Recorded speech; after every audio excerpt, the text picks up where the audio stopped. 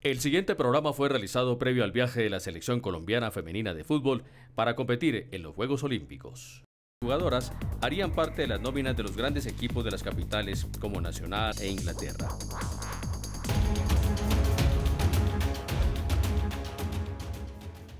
Estamos en Semana en Vivo de Cable Noticias. Recuerde que nuestra cuenta de Twitter es arroba Semana en Vivo y nuestro canal arroba Cable Noticias. Hoy vamos a hablar de fútbol femenino. Nuestra selección Colombia femenina clasificó a los Juegos Olímpicos de Río 2016 que comenzarán el próximo 5 de agosto. Y Colombia tiene una dura tarea nuevamente, así como le sucedió anteriormente en el Mundial de Fútbol Femenino de Canadá, donde tuvo una participación importante. Nos acompaña hoy el periodista y presentador de Cable Noticias, John Daza. Yo, gracias por estar con nosotros hoy nuevamente. Hernán, es un gusto, como siempre, acompañarlos y, por supuesto, en este capítulo tan especial que vale la pena eh, hacer sobre las chicas que vuelven a unos Juegos Olímpicos después de su excelsa, diría yo, participación en la Copa del Mundo en Canadá, donde obtienen un meritorio el ascenso para llegar a los octavos de final y terminan cayendo contra Estados Unidos que vuelven a encontrarse con ese duro rival, la potencia y campeón no solo eh, en los mundiales, sino también múltiple ganador en los Juegos Olímpicos. Claro que sí, además eh, un gran equipo que estará nuevamente allí en Río y en el que tuvo de alguna manera Colombia un enfrentamiento eh, amistoso doble recientemente y las dos victorias para Estados Unidos. Vamos a tener algunas de las jugadoras de la selección Colombia con nosotros hoy aquí, pero ya nos atiende desde el exterior Nicole Reiner. Nicole, gracias por estar con nosotros. Bienvenida a Semana en Vivo de Cable Noticias. Hola, buenas noches a todos los televidentes de Semana en Vivo. Eh, buenas noches, Hernán. Muchas gracias por la invitación.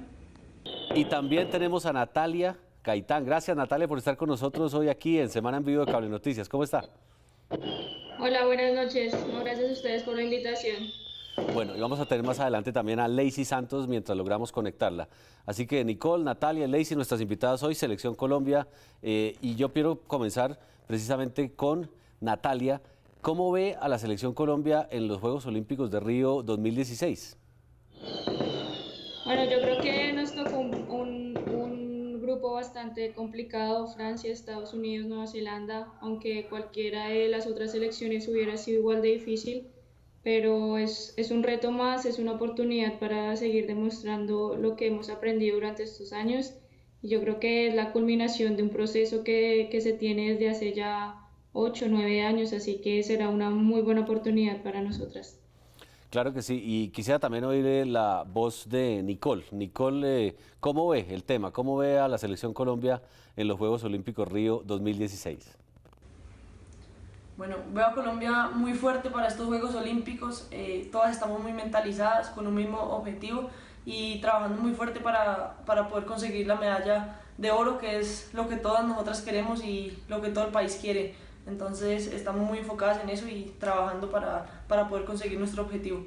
Gracias, Nicole. Bueno, John, el equipo está motivado. Eh, se nota que Natalia y Nicole eh, tienen en mente esto como su único objetivo por ahora. ¿Y usted cómo lo ve? Que está desde afuera un poco a la selección actual. Es decir, la selección ya a pocos días de los Juegos Olímpicos, ¿qué posibilidades tiene en Río 2016? Bueno, ya no es el equipo Hernán que siempre se había mostrado con jugadores, jugadoras locales, formas íntimas, Golestar, todos los semilleros importantes que tenemos en el país, sino bueno, ya se ven, eh, aparte de Yoreli Rincón, que actualmente juega eh, para el fútbol eh, noruego, está en la primera división de Noruega, pero ya empezamos a ver jugadoras como Natalia, como Nicole, que están en España en la primera división. Entonces eso hace que el plus, la, el elitismo de esta selección empiece a subir y a ganarse un respeto. Claro, se va a enfrentar con duros rivales que ya se conocen. Hablábamos de lo sucedido en, Estados Unidos y también con Francia. Ya se conoce, ya sabe eh, el profesor Taborda y sus muchachas qué es ganarle a la selección francesa 2 por 0, un gran resultado el que se obtuvo en Canadá. Con Estados Unidos se enfrentaron precisamente en esos octavos de final que terminan perdiendo en un, digamos que, excelso primer tiempo, pero ya el segundo tiempo no les alcanzó. Claro, las grandes figuras tienen a, la chica que es balón de oro, a Biguambas, a Carly Lloyd, que son las jugadoras históricas del, del balompié en toda su historia. Eh, jugadoras de verdad que eh, son, van más allá de lo que puedan hacer yo creo que muchas eh, de sus oponentes. Me parece que Colombia tendrá una dura tarea y esperemos le alcance para acceder por lo menos a estos octavos de final. Preguntémosle a Natalia, en el fútbol español, ¿qué ha visto Natalia? Si es muy diferente lo que hay en Colombia a lo que hay en Europa, ¿cuál es su experiencia y si esto le va a servir a, ustedes, las que están afuera, para aportarle a la selección femenina? Bueno, realmente yo creo que lo que yo he vivido aquí en España, el fútbol eh, de español es muy parecido al que nosotras practicamos, es de, de toque, de tratar de mantener el balón al piso Así que me ha servido mucho para, para afianzarme en eso, a mejorar mi posicionamiento dentro del campo. Estoy jugando acá de medio centro y espero que con lo que haya aprendido y con lo que pueda aprender en este final de temporada pueda llegar a la selección y, sumar para, para que el equipo esté lo mejor posible cuando lleguemos a los Olímpicos. También, John, hemos consultado a algunos expertos, algunos colegas de diferentes medios, porque queremos ver todas las opiniones de cómo ve la prensa deportiva también este tema de la selección femenina. Veo que hay motivación. Oye uno a Natalia y a Nicole, y más adelante vamos a oír a, a Lacey. Eh, el equipo de alguna manera tiene algo que es básico en el fútbol y es la parte como de concentración, la parte mental. Ellas son conscientes de que eso es muy importante y creo que lo aprendieron en el Mundial de, de Canadá y aquí va a ser definitivo, ¿no? Sí, ya es un equipo de trabajo que se conoce hace bastante desde las categorías menores, sub-17, sub-20, y han ido formando casi que una familia. Claro, ya em, em, se empieza y todo el mundo empieza a pedir eh, que vayan sumando trofeos a su palmarés. Más resultados. Es decir, más resultados, porque no solo lo sucedido, eh, nos podemos quedar con la, Copa América, los segundos puestos ante Brasil, sino también yo creo que es importante que ya empiecen a avanzar más. Claro, uno no puede sería yo creo que muy positivo pedir una medalla de oro, pero sí que avancen de estos octavos de, final sería un logro meritorio para ellas. Por supuesto, recuerde que estamos en eh, Semana en Vivo de Cable Noticias, nuestra cuenta de Twitter es arroba Semana en Vivo, nuestro canal arroba Cable Noticias y estamos hoy hablando del fútbol femenino, uno de los deportes importantes, una disciplina en donde Colombia ha avanzado y vamos a estar allí presentes en pocos días en Río de Janeiro, en los Juegos Olímpicos 2016. Ya regresamos para seguir hablando con las jugadoras de la Selección Colombia aquí en Semana en Vivo de Cable Noticias.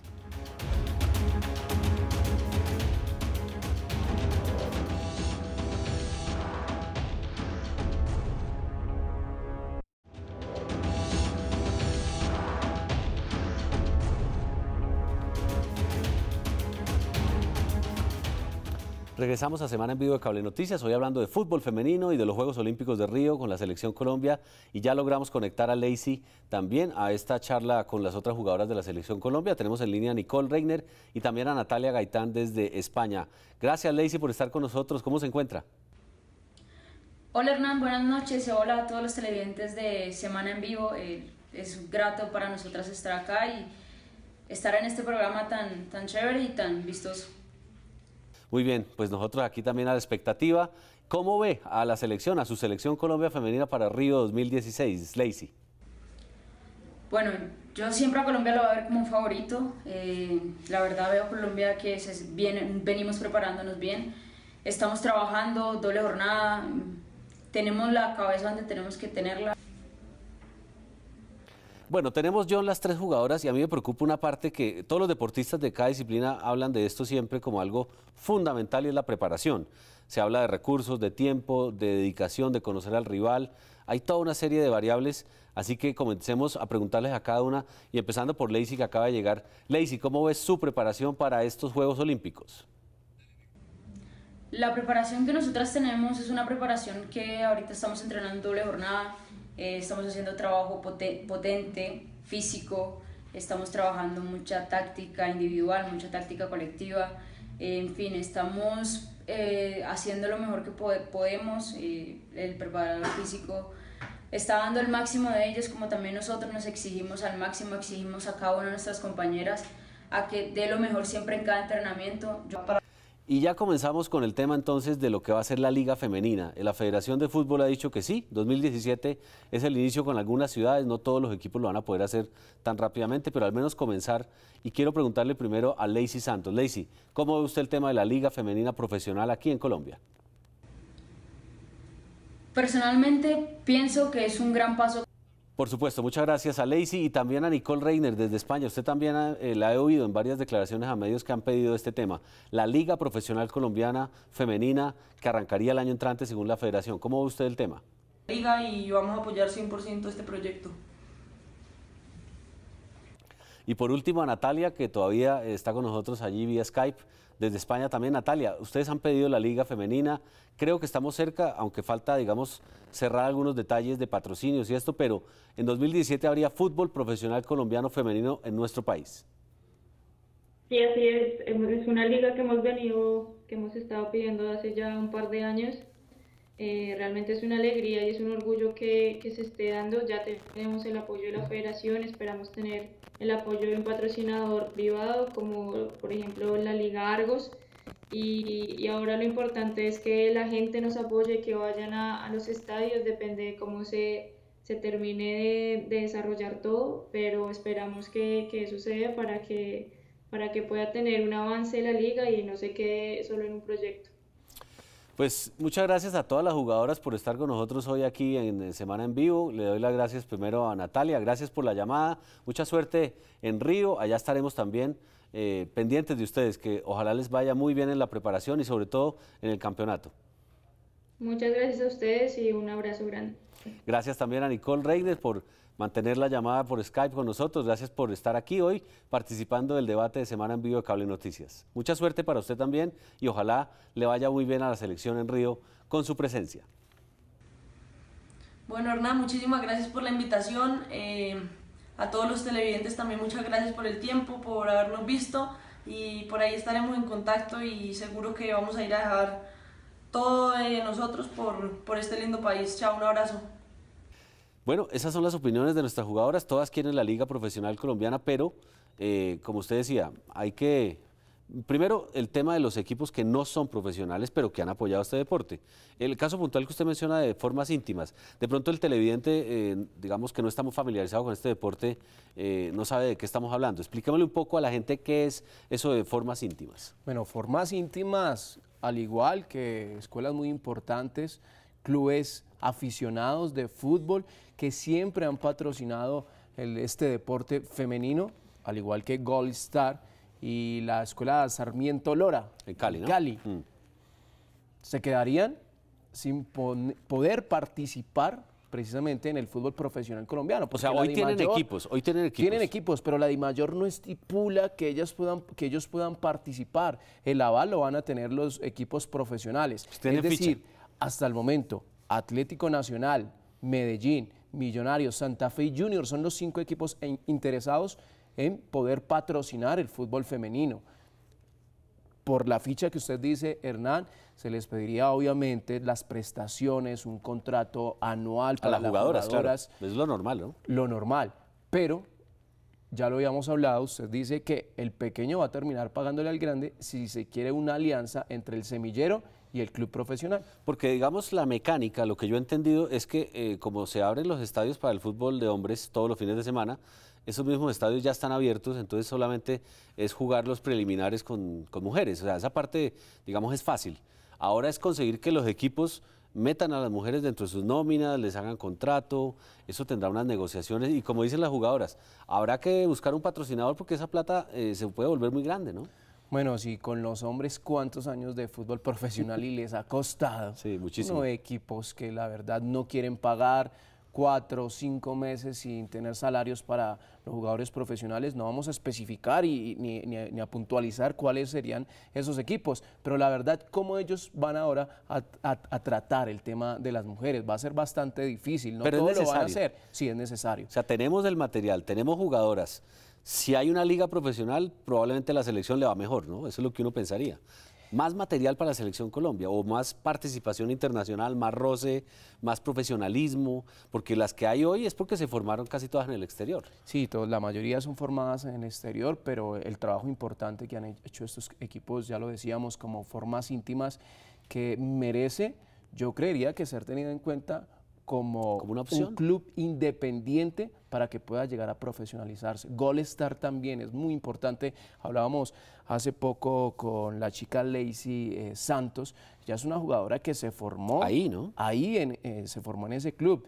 Ya eh, viene, no, creo que es de la Guajira ella, no, no, no tengo el dato preciso, acertado, pero sé que ya vino, viajó con toda su familia para formarse en el Club Gold Star y merece que los semilleros también participen en el fútbol profesional femenino. Pues John, hagamos antes de cerrar el programa un repaso, como usted lo tiene bien ahí documentado, de los tres partidos que tiene Colombia femenino en Río 2016. El orden sería cuál, cómo es nuestra digamos, presencia y cronograma para que la gente tenga claro que esto pues es una situación de alguna manera única, ¿no? Una selección femenina que vuelve a enfrentar a los grandes clubes, esta vez en Río 2016. Recordemos, eh, los Juegos Olímpicos comienzan el día 5 de agosto. ¿Cómo sería entonces eh, el tema de los tres partidos de la selección eh, Colombia femenina para claridad de nuestros televidentes que hoy tuvieron la oportunidad de oír a tres de las jugadoras que van a ir a la selección Colombia? Bueno, por el grupo G se va a enfrentar Colombia ante Francia.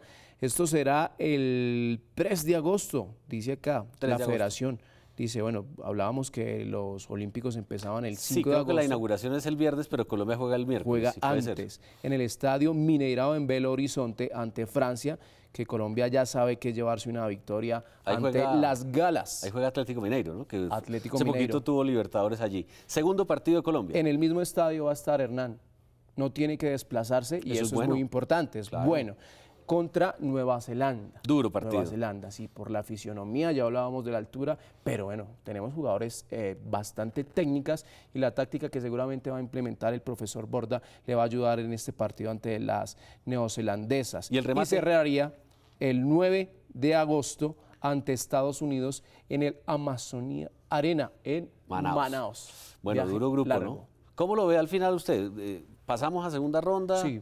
¿Tenemos con qué? Estados Unidos y Colombia, en ese orden. Estados Unidos y Colombia, que Estados Unidos es la favorita, ¿no? Para llevarse la medalla de oro. Pues Quisimos hacer un programa para las mujeres, las que juegan fútbol, las que les gusta y porque ya se viene en cualquier momento los Juegos Olímpicos. Así que Semana en Vivo va a estar también pendiente de ese tema importante para, el deporte. Y, y, el programa no es solo para las mujeres que juegan fútbol, sino para los hombres que les gusta ver jugar a las mujeres. Ah, sí, por supuesto. Porque es que todo el mundo habla de las mujeres que les gusta ver jugar a los hombres, pero también hay muchos hombres que degustan el fútbol femenino. Precisamente por eso necesitamos una liga profesional, para que haya fútbol femenino y luego fútbol masculino en los estadios. Gracias por estar con nosotros hoy aquí. A todos ustedes los que escribieron a arroba semana en vivo y a nuestra cuenta de Twitter del canal arroba cable noticias. La próxima semana otros temas y otros invitados aquí con María Jimena Duzán en Semana en Vivo. Feliz noche.